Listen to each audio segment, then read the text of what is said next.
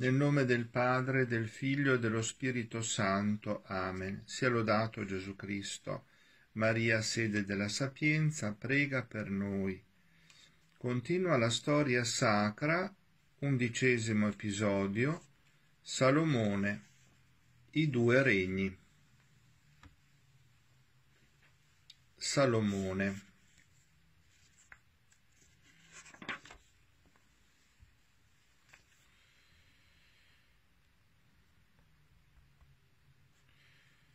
Salomone in giovanissima età salì sul trono del padre. Egli era rimasto famoso nella storia per la sua grande sapienza. Un giorno si presentarono a lui due donne. Entrambe avevano un bimbo di pochi giorni. Uno di questi durante la notte era morto. Ognuna delle due pretendeva che il bambino vivo fosse il suo.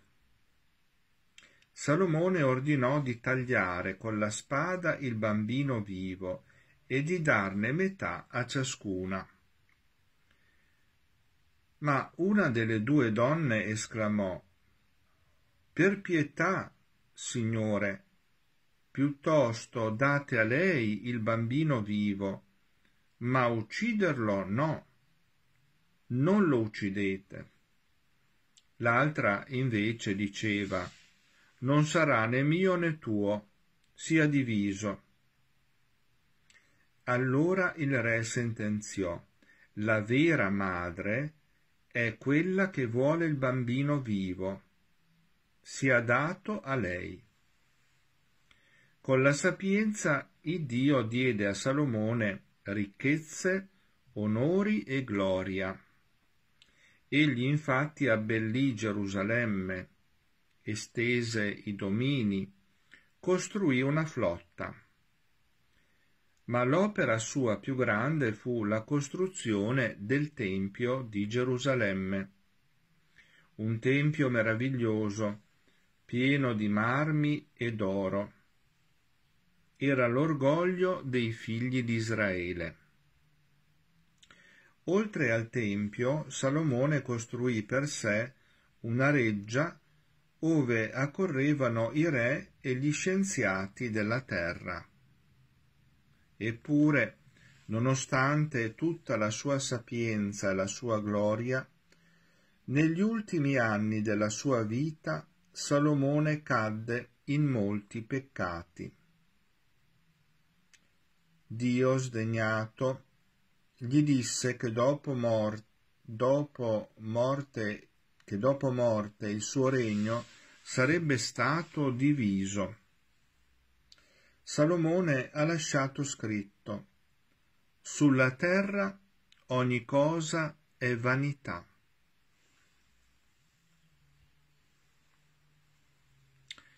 Temi Dio e osserva i suoi comandamenti perché qui sta il segreto della vita.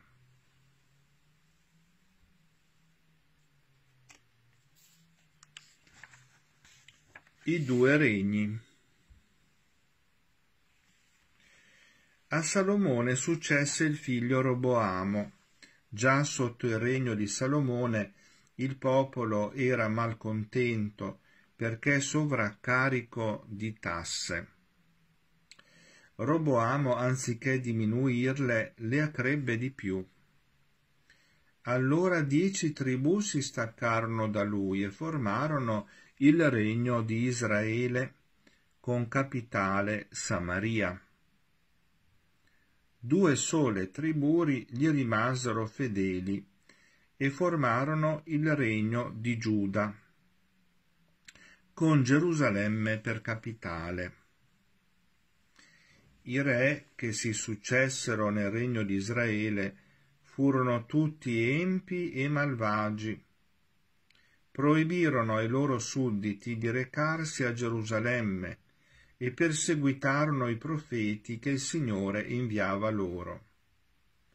Stanco di tante iniquità, Dio permise che il loro regno fosse per sempre distrutto dagli Assiri condotti schiavi in Assiria, i poveri israeliti furono ridotti in estrema miseria e torturati in mille modi.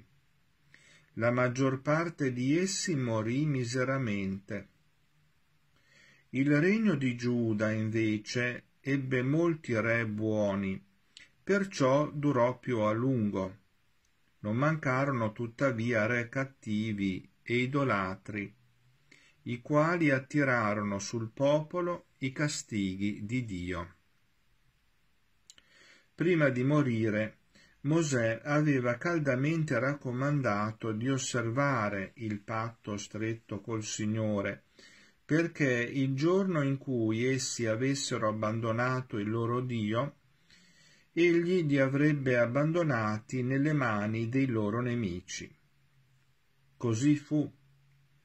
Dio punì il regno di Giuda come aveva già punito quello di Israele. Il re di Babilonia salì contro Gerusalemme e la distrusse. Il magnifico tempio fu dato alle fiamme e la maggior parte dei giudei fu condotta schiava a Babilonia.